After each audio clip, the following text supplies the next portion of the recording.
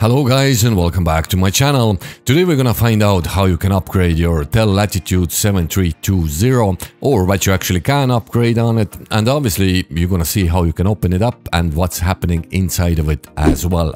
First things first, you need a little standard Phillips screwdriver. I'm gonna leave the link in the description if you are looking for a very same one. It's 57 in one so it's, it's gonna be useful for other little jobs as well remove all the screws from the back panel as I say remove them just loosen them because they don't come out which is handy. You're never gonna lose one. I'm removing this little thing on the left hand side. You can leave it in. I'm kind of used to with older laptops. You have to remove them in order to lift the back panel. So that's it. You're ready to remove the back panel? I'm using little plastic tool there. If you don't have one uh, use your fingers nails don't use anything metal, you will damage your laptop. Uh, and you, as you see, it comes off quite handy, so took me less than 30 seconds. Maybe this laptop was open before and that's the reason why it came off easy. Okay, that's the look uh, on the back panel inside. And that's how it looks now. Uh, bad news, obviously. RAM is not upgradable, so whatever you have there, you're stuck with it. That's your battery.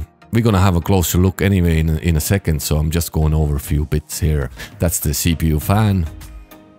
That's the CPU heat sink and under that is CPU itself. This one has uh, 11th generation Core i7 and that's your solid state drive there. At the moment there's a 256 gigs. We're gonna upgrade that to 1 terabyte in a few minutes. That's a closer look now on the battery. Just in case if you're looking for a spare part, it's gonna be handy Get your serial number from here. That's your battery connection. That's your CPU fan. And the heatsink and the CPU under that. CPU is, is not upgradable either. That's your solid state drive. More bad news. RAM is not upgradable. And if anything happens to your Wi-Fi card, it's it's soldered to motherboard as well. So you can't remove the Wi-Fi card either. So good old days are gone where you could change these pits on the laptop. So that's the bad news for you. So we only have really one good news here, which is your solid state drive. Before you start upgrading, uh, I do recommend disconnecting battery. You just lift that connection there. It's more for safety than anything else. And as you see, to remove the solid state drive, you have to use a little um, smaller screwdriver there. I just changed the bit there. Just a little look on the screw itself. Leave it somewhere safe, don't lose it. Okay, there's two of them, sorry. Got a little excited there. Okay, you can lift the little heatsink now.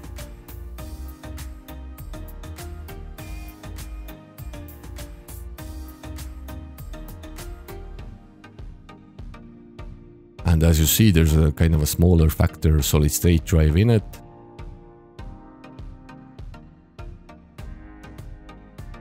We don't need that bit later because I'm gonna install longer solid state drive in it.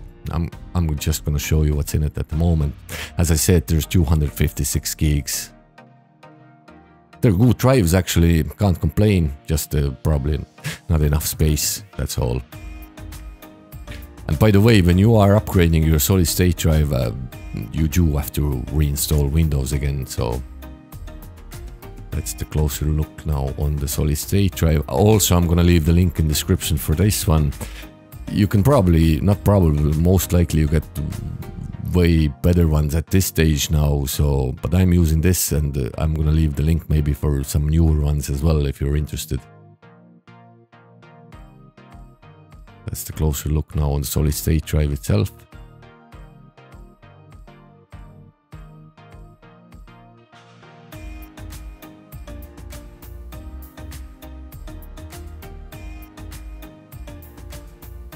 There you go, that little heatsink will go back in. And the little plastic thingy what was there, just the extension for the smaller one, you can leave that, just don't throw it out maybe, God knows, you might need it in the future. That's it close your two screws there again. And one thing now, before you're gonna put the back panel back again, I do recommend connecting battery. It happened to me way too many times where I got to, oh yeah, up upgrading done, close the laptop and then you realize, damn, your battery is not connected. So do, do, do definitely do that. So as I said, one good news, you can upgrade solid state drive, you can't upgrade CPU, you can't upgrade RAM, you can't upgrade Wi-Fi card, so that seems to be the future with laptops anyway. That's it, close your back panel, kind of press it gently, you can hear the little clicks there. Yeah. And probably not the greatest idea to use too much force either. So that's it, change a bit again and close the back panel. In a minute I'm gonna boot to Windows, so we're gonna see the specs of this laptop as well. Just a short little 30 second boot and uh, that's it. Oh, oh, oh, and as I said before, you will have to reinstall Windows before you can use your laptop again if you swap your solid state drive. Okay, that's it. We're on desktop now. I'm gonna go just briefly over a few specs here. Go to this PC now you see one terabyte sitting there. Right click, go to properties. Yep, that's it. The Latitude 7320 11th generation i7 as you see and 16 gigs of RAM. I suppose if you will have 8 gigs you're stuck with it. I'm lucky enough here 16 gigs. I'm gonna go to device manager now just to go over it again. So as I said, it is upgradable just a small bit. Good laptops, fast, small, light, reasonably light I suppose. That's your solid state drive there now, the one I installed, and your display adapter. Show you the CPU there now as well, so... And that's about it. Uh, hopefully this was now helpful for you who will look in what you can, what you can't upgrade and how maybe how does it look actually inside.